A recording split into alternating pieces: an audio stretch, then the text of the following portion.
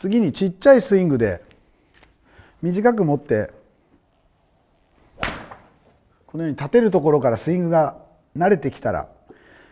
今度は実際の長さに持っていただいてちゃんとクラブを立てられるかどうかっていう感覚を持つことが大切になります。長いフェアウェイウッドでは振り回して振り上げていく動作が強くなってしまいますとやはりその分の長さによって重さが負荷となって自分にかかってきてしまってトップが大きくなったり勢いがついてしまった反面で体がこらえようとして踏ん張りすぎて体が下がってしまったりっていうことが起こります。ですのでその変な負荷をなくすために一度リラックスしてこう止められるぐらいの気持ちが必要になります。でそのためにどうするかというと先ほど長く持っていた状態でトップの辺りに来たらこれを離せるぐらいの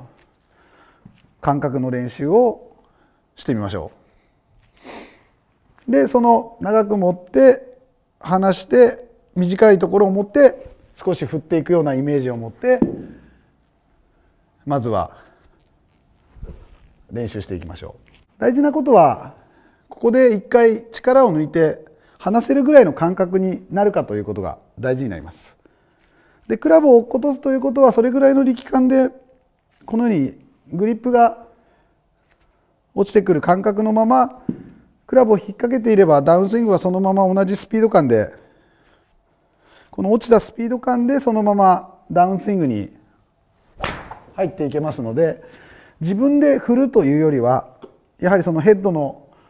こう落ちていく感覚っていうのが少しずつ、まあ、分かりづらいのですが、まあ、何度かこう離してる感覚ぐらいのスピード感を体に覚え込ませていただければと思います。意外とこう離していくと分かるのですが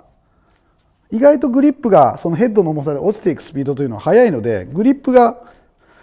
結構離してる時間が長ければ長いほど進んでくれることが分かります。ですのでそのスピードを信じて一緒にグリップが進んでいくことをイメージの中で入れていただいて打つということが大事なのではないかと思います。皆さんやはりこうやってヘッドがヘッドのスピードを出そうとしてしまいますのでなるべくグリップに余分な負荷をかけずに